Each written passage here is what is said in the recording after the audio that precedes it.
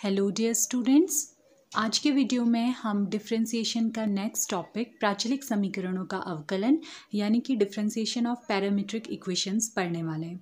तो बहुत आसान ये टॉपिक है और आगे के आपको जो भी टॉपिक्स हैं, पुराने टॉपिक्स के कंपैरिजन में ज़्यादा आसान लगेंगे। बशर्ते कि आपको फॉर्मूले याद हो गए हैं और chain rule product rule division rule आपको मालूम है तो आगे हमें ज़्यादा आसान क्वेश्चन मिलने वाले हैं।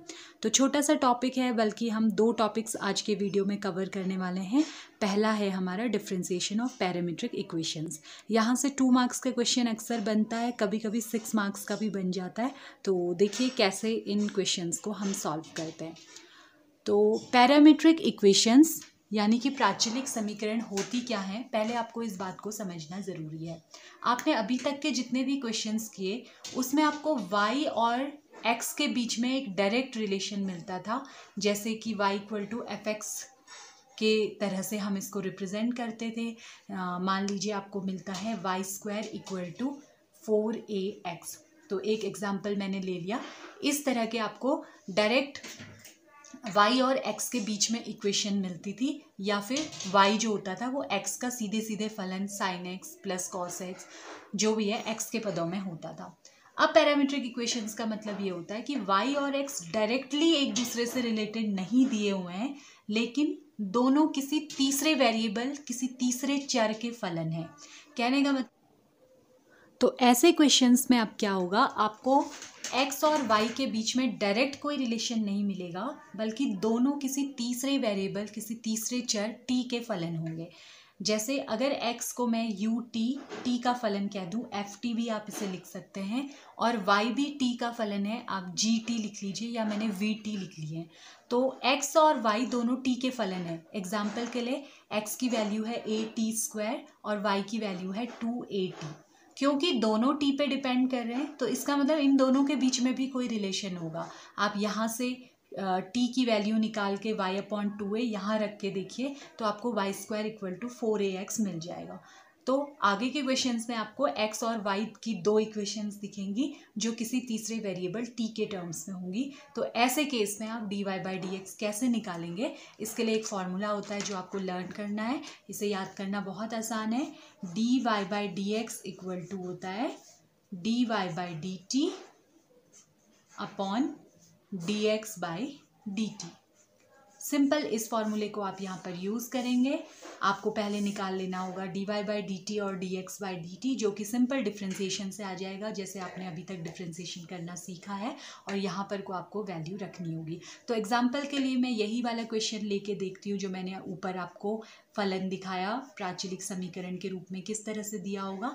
तो आपको दिया होगा X equal to A T square और Y equals to two A T और आपको फाइंड करना होगा D Y by D X कितना होगा। तो जैसे मैंने कहा D Y by D X के लिए फॉर्मूला ये है, यानी आपको D X by D T और D Y by D T दोनों की ज़रूरत है। तो इन्हें हम कैलकुलेट कर लेंगे।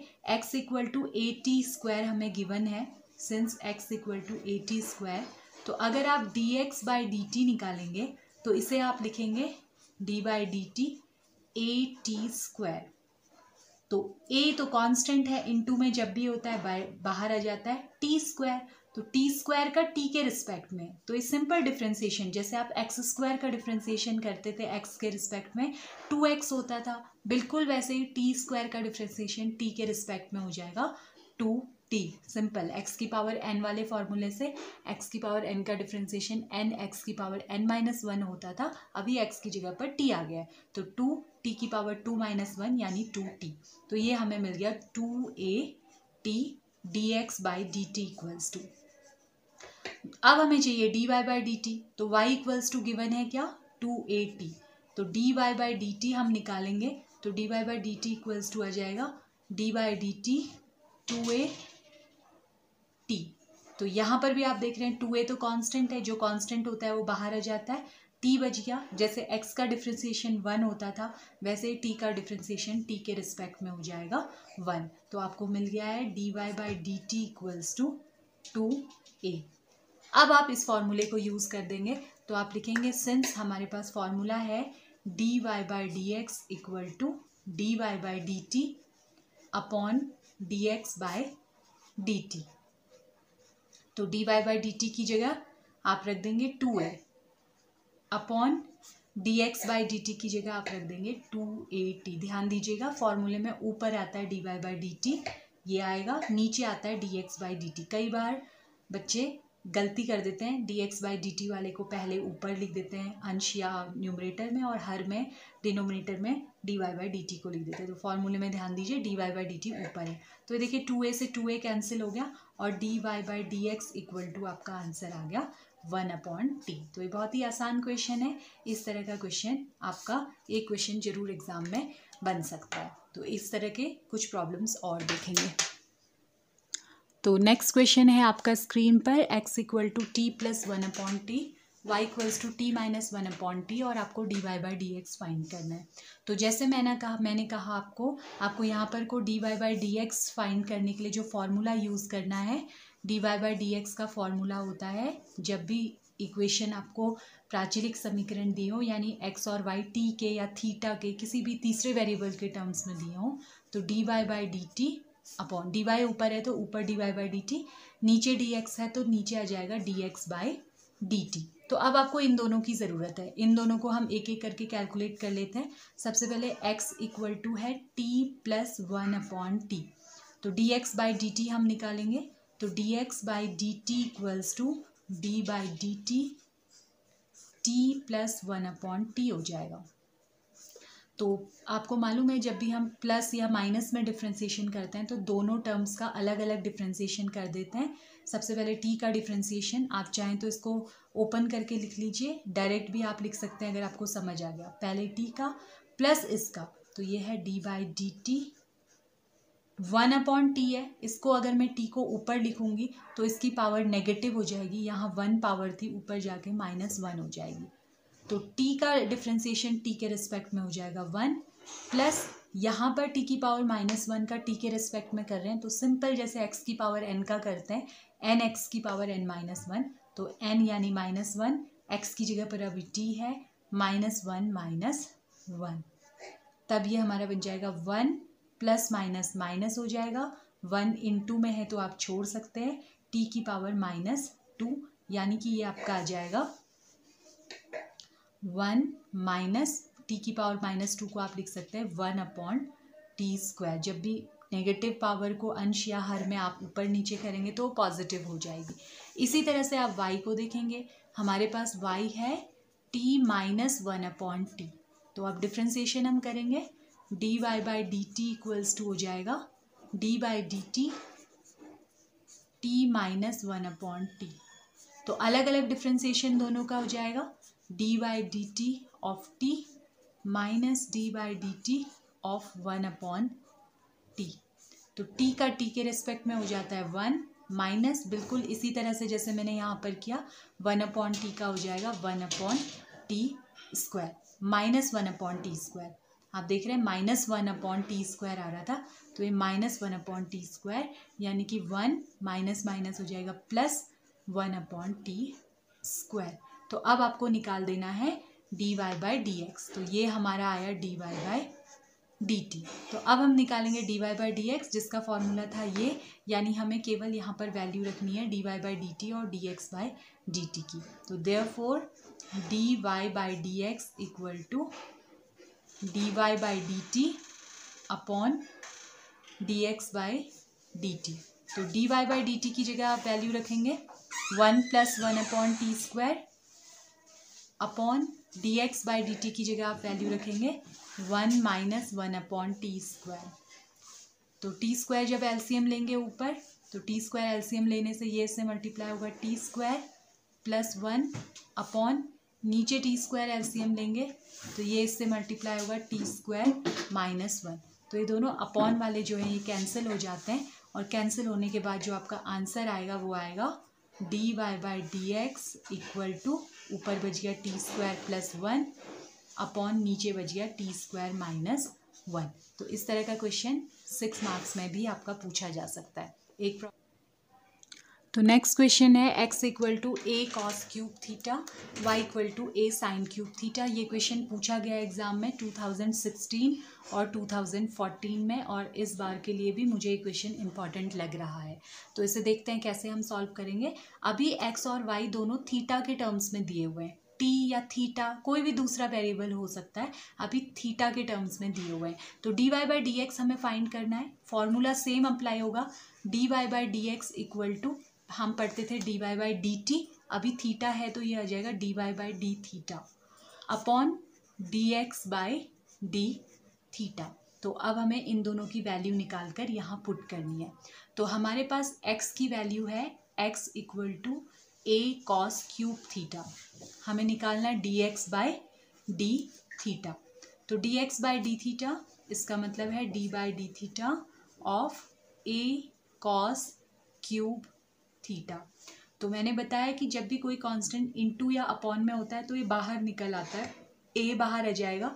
ये हो जाएगा D by D theta of cos cube theta या फिर इसे मैं लिख सकती हूँ A D by D theta of cos theta whole cube अब इस कॉस थीटा होल क्यूब का डिफ्रेंसिएशन कैसे होगा? ये हमने सीखा था चेन रूल में। अगर आप इसको ध्यान से देखें तो ये होल क्यूब टाइप का बन रहा है। यानी कि ये सिमिलर है एक्स क्यूब के। अगर यहाँ पर कॉस थीटा ना होकर थीटा होता एक्स क्यूब अगर एक्स के रिस्पेक्ट में डिफ्रेंसिएशन होता तो यहाँ एक्स क्यूब होना चाहिए था। थीटा के रिस्पेक्ट में हो रहा है तो अगर ये थीटा क्यूब होता तो आप डायरेक्टली थीटा क्यूब का डिफ्रेंसिएशन लिख देते थ्री थीटा स्क्वायर लेकिन थीटा की जगह पर क्या है? कॉस थीटा तो जैसे आप वहाँ पर करते थे, इसको आप समझ लेंगे टी तो अब आप करेंगे, ये बन गया टी क्यूब टी क्यूब का डिफ्रेंसिएशन होता है थ्री टी स्क्वायर टी का अर्थ था cos theta three cos theta का स्क्वायर इनटू जिसे भी आपने टी माना है, उसका दोबारा से डिफ्रेंसिएशन करना है, यानी कि D by D theta of cos theta तो अब ये आपका बनेगा A into three cos square theta into cos theta का डिफ्रेंसिएशन हो गया माइनस साइन थीटा तो थोड़ा सा इसको हम सही ढंग से लिख लेते हैं कॉन्स्टेंट्स बाहर लिख लेते हैं माइनस साइन बाहर निकाल लेते हैं minus three A cos square theta into sine theta ये आपका बन गया है D X by D theta अब आपको बिल्कुल इसी तरह से क्या निकालना है? D Y by D theta तो D Y by D theta का मतलब आपका हो जाएगा वाई क्या था? ए साइन क्यूब थीटा था। तो D by D theta of A sine cube theta तो जैसा मैंने आपको बताया कांस्टेंट बाहर आ जाएगा ए और ये आपका बच जाएगा D by D theta sine cube theta को हम लिख सकते हैं, साइन थीटा होल क्यूब। जब भी साइन और थीटा के बीच में क्यूब लिखा हो तो इसका मतलब होता है कि ये पूरे का क्यूब है, होल क्यूब इसे लिखा जा सकता है। अब इसका डिफ्रेंसिएशन बिल्कुल उसी तरह से चेन रूल से होगा, इसे आप समझ लेंगे टी टी क्यूब जैसा बन जाएगा। टी क्यूब का होता है थ्री टी स्क्वायर यानी टी की जगह पर क्या था? साइन थीटा तो थ्री साइन थीटा का स्क्वायर इनटू में हमेशा जिसे आपने टी समझा है, उसे दोबारा करेंगे। थीटा के रिस्पेक्ट में हो रहा है। D by D theta of sine theta तो ये आपका बन जाएगा थ्री ए ये हो जाएगा साइन स्क्वायर थीटा और इनटू साइन थीटा का थीटा के रिस्पेक्ट में डिफ्रेंसिएशन होता है कॉस थीटा तो ये हमारी value I D Y by D theta की। अब आपको निकालना क्या है? आपको निकालना है D Y by D X तो D Y by D X का फॉर्मूला हमने शुरू में लिखा है तो यहाँ पर हम वैल्यू पुट कर देंगे। D Y by D X equal to D Y by D theta, यानी कि ये three A sine square theta into cos theta upon D X by D theta, यानी कि ये minus three A cos square theta into sine theta. तो आप यहाँ पर देख रहे हैं थ्री ए से थ्री ए कैंसिल हो जाएगा। ये साइन थीटा है, ये साइन थीटा का स्क्वायर है, यानी दो साइन थीटा है तो एक कैंसिल हो जाएगा। इसी तरह से कॉस थीटा है, यहाँ स्क्वायर है तो एक कॉस थीटा कैंसिल हो जाएगा। तो यहाँ आपका बच गया साइन थीटा अपॉन यहाँ आपका बच गया माइनस कॉस थीटा तो D Y by D X equal to आपका आंसर आ गया।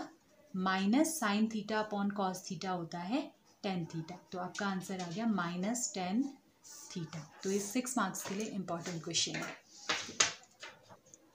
तो स्क्रीन पर दो क्वेश्चंस आपको प्रैक्टिस प्रॉब्लम्स दिख रही हैं। आपको इन्हें सॉल्व करना है और इसके आंसर बताने कमेंट बॉक्स में। तो नेक्स्ट टॉपिक भी हम आज के वीडियो में पढ़ रहे हैं, जो है एक फलन के सापेक्ष दूसरे फलन का अवकलन। ये टॉपिक पैरामीट्रिक इक्वेशन से ही मिलता जुलता है। छोटा सा टॉपिक है आसान सा और इससे भी दो मार्क्स का क्वेश्चन आपके एग्ज़ाम में पूछा जा सकता है। तो अब हम देखेंगे कैसे हम एक फलन के सापेक्ष दूसरे फलन का अवकलन करते हैं differentiating one function with respect to another function देखिए, अभी तक आप जो क्वेश्चन करते थे, उसमें D Y by D X होता था। कहने का मतलब y कोई फलन होता था एक्स का और उसे एक्स के रिस्पेक्ट में डिफ्रेंशिएट करना होता था। वाई होता था फलन, यानी कि फ़ंक्शन और एक्स होता था आपका चर, यानी कि वेरिएबल तो आप एक फ़ंक्शन को दूसरे चर के रिस्पेक्ट में वेरिएबल के रिस्पेक्ट में डिफ्रेंशिएट करते थे। अब क्या हो, अगर वाई भी एक फलन हो और नीचे एक्स की जगह पर भी आपको कोई फलन दिया गया हो। कहने का मतलब आपको पहला फलन दिया है U equal to F X और दूसरा फलन दिया है G V equals to G X और आपको फाइंड करना है D U upon D V यहाँ पर u भी आप देख रहे हैं, x का एक फलन है और v भी x का एक फलन है। तो आपको D U by D V find करना है तो आप कैसे करेंगे? ऐसा कहने का अर्थ है, मान लीजिए आपको कहीं पर कह दिया कि साइन x का अवकलन कॉस x के सापेक्ष कीजिए। साइन x का अवकलन कॉस x के सापेक्ष कीजिए। तो इस तरह का क्वेश्चन अगर आपसे पूछा गया है तो आप कैसे करेंगे?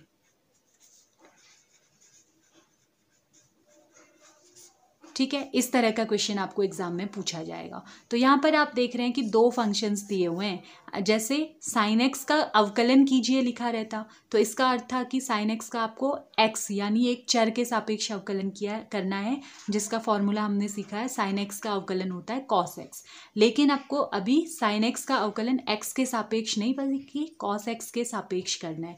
तो ऐसे केसेस में जो D U by D V का फॉर्मूला होता है, वो प्राचलिक समीकरण से मिलता जुलता का फॉर्मूला होता है। ऊपर डी यू है तो D U by D X upon नीचे डी वी है तो D V by D X ये इसका फॉर्मूला होता है। आपको करना क्या है? u और v दोनों को x के सापेक्ष अवकलन कर देना है और फिर इस फॉर्मूले में वैल्यू रख देनी है। तो इन क्वेश्चंस में जो खास बात होगी वो ये होगी कि आपको किसे u मानना है और किसे v मानना है। तो ध्यान दीजिएगा, u आप उसे मानेंगे जिसका अवकलन करना है। u आप किसे मानेंगे? जिसका अवकलन करना है, यानी कि जिसे डिफ्रेंशिएट करना है, जिसका अवकलन करना है। और वी वी आप किसे कहेंगे? जिसके सापेक्ष आपको अवकलन करना है। वी यानी कि जिसके सापेक्ष, जिसके रिस्पेक्ट में आपको डिफ्रेंसिएशन करना है, उसे हम मानेंगे वी जिसके सापेक्ष अवकलन करना है। तो अगर आप ये बात को समझ जाते हैं तो अब आगे आपके लिए बहुत ही आसान है। इस टॉपिक को समझना। आप देख रहे हैं क्वेश्चन में क्या दिया हुआ है? साइन एक्स का अवकलन। यानी अवकलन हमें किसका करना है? साइन एक्स का। तो u इक्वल्स टू हम मान लेंगे साइन एक्स v, जिसके सापेक्ष अवकलन। तो v किसके सापेक्ष करना है? कॉस एक्स के सापेक्ष। तो v equal to cos X हो जाएगा। इसी को इंग्लिश में लिखा रहेगा। Differentiate sine X with respect to cos X तो डिफ्रेंशिएट साइन एक्स यानी साइन एक्स का डिफ्रेंसिएशन होना है तो U equal to sine X with respect to cos X लिखा है, यानी कॉस एक्स आपका बन जाएगा वी तो आप निकाल देंगे D U by D X D U by D X आपका D by D X of sine X यानी कि क्या आ जाएगा? साइन एक्स का एक्स के रिस्पेक्ट में होता है कॉस एक्स और यहाँ से आप निकालेंगे D V by D X D V by D X कहने का अर्थ है D by D X of cos X. तो कॉस एक्स का डिफ्रेंसिएशन एक्स के रिस्पेक्ट में क्या होता है? माइनस साइन एक्स, ठीक है? D U by D X हमारा आ गया कॉस एक्स और D V by D X हमारा आ गया माइनस साइन एक्स। तो बस अब हमें इस फॉर्मूले में रख देना है। फॉर्मूला हमारा था since d u by d v equals to d u by d x upon d v by d x. तो d u by d x का अर्थ है कॉस एक्स और d v by d x का अर्थ है minus sine x तो minus आप ऊपर लिखते हैं cos x upon sine x क्या बन जाएगा? कॉट एक्स तो ये आपका आ गया d u by d v equals to minus cot x ये आपका आंसर है। तो सिंपल सा क्वेश्चन है टू मार्क्स का संभावना है पूछे जाने की, हो सकता है सिक्स मार्क्स में भी आ तो एक और सिमिलर क्वेश्चन यहाँ पर हम लोग देखेंगे। X की पावर सेवन का डिफ्रेंसिएशन कीजिए। X की पावर थ्री के सापेक्ष। डिफ्रेंशिएट x की power seven with respect to x cube तो जैसा मैंने कहा, जिसका डिफ्रेंसिएशन होना है, उसे मान लेना है आपको u u equal to x की पावर सेवन और जिसके रिस्पेक्ट में, जिसके सापेक्ष अवकलन होना है, उसे मान लेना है v v equal to x cube फिर आपको निकालना है d u by d x तो d u by d x यानी कि d by d x of x की पावर सेवन एक्स की पावर सेवन सिंपल फार्मूला लग जाएगा एन एक्स की पावर एन माइनस वन तो सेवन एक्स की पावर सिक्स हो गया. इसी तरह से d v by d x equal to d by d x of x cube तो एक्स क्यूब का डिफ्रेंसिएशन सिंपल हो जाएगा थ्री एक्स स्क्वायर तो अब आप फॉर्मूले में वैल्यू रखेंगे, आपको निकालना तो क्या है? D u by d v u का वी के सापेक्ष, यानी कि d u by d v आपको निकालना है तो d u by d v आपका होता है formula d u by d x upon d v by d x तो d u by d x में आप वैल्यू रखेंगे सेवन एक्स की power six upon d v by d x में आप वैल्यू रखेंगे थ्री एक्स स्क्वायर तो आप देख रहे हैं, ये हो गया seven upon three x same base है अपॉन में है तो घातें घट जाती हैं एक्स की पावर सिक्स माइनस टू यानी कि फोर तो ये आपका आ गया डी आप चाहें तो यू की जगह साइन एक्स लिख दीजिए. डी साइन सॉरी क्या था? एक्स की पावर सेवन डी एक्स की power seven upon d x की पावर थ्री इसका मतलब हो गया एक्स की पावर सेवन का डिफ्रेंसिएशन एक्स क्यूब के रिस्पेक्ट में. इक्वल टू आपका आंसर आ गया seven upon three x to the power four तो ये आपका आंसर है। इस तरह से आपको एक फलन का अवकलन दूसरे फलन के सापेक्ष करना होता है। तो ये एक और प्रैक्टिस प्रॉब्लम आप लोगों को दे रही हूँ इस टॉपिक से रिलेटेड जिसमें आपको एक फलन के सापेक्ष दूसरे फलन का अवकलन करना है। तो इन दोनों, तीनों प्रैक्टिस प्रॉब्लम्स को आप सॉल्व कीजिए। आंसर मुझे लिखिए। कोई डाउट्स या कन्फ्यूज़न हो तो कमेंट बॉक्स में आप मुझसे पूछ सकते हैं। तो मिलेंगे नेक्स्ट वीडियो में। Thanks for watching the video